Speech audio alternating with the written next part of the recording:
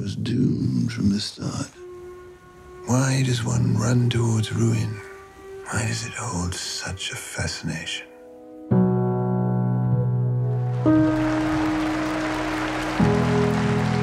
Your appreciation has been most intelligent. I congratulate you on the success of your performance.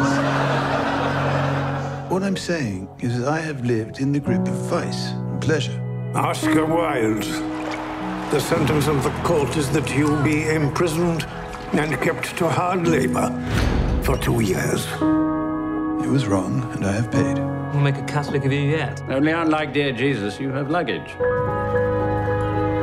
I fully intend to effect a reconciliation with my wife. I feel sure that if I was to see him once, I would forgive him everything. And rest assured, I shall never see Lord Alfred Douglas again.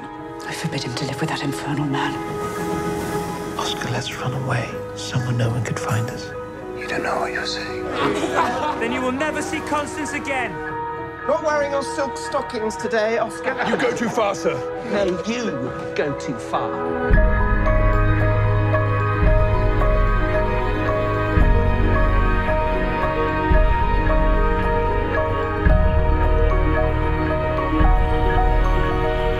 Taken everything! My family, my work, my freedom, everything! There's nothing left to take! Suffering is nothing when there is love. Love is everything. I must love and be loved, whatever price I pay for it. Mr. Wilde?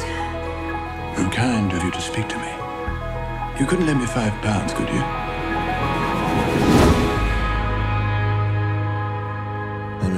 Combat with this wallpaper, Robbie. One of us has to go.